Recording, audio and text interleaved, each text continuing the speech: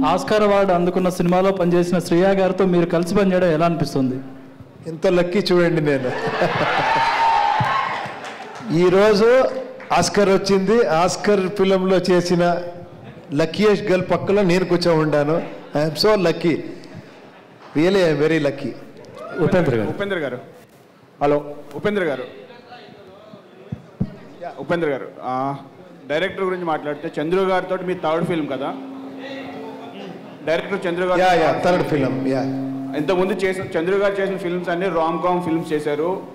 Action periodic action film ఇది ఒకటే so ఆయనతో మీకు ఎక్స్పీరియన్స్ ఎలా ఉంది? సినిమా నుంచి నేను ఎక్స్పెక్ట్ చేస్తాను లేదు very passionate director first film నాది బ్రహ్మ అని చేశారు. అది పక్కా యాక్షన్ ఫిలం అది.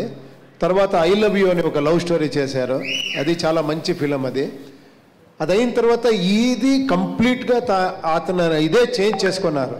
ఇంతవరకు ఏం చేశారో దాని నుంచి బయటకు వచ్చి ఒక నేను ఒక టెన్ ఇయర్స్ అహెడ్గా ఫిలం చేయాలి మేకింగ్ వైజ్ ఫిలం చేయాలి అని చేశారు ఇది. అందుకే ఇది మీకు చూస్తేనే అనిపిస్తుంది ఇది. వేరే రకంగా ఉంది.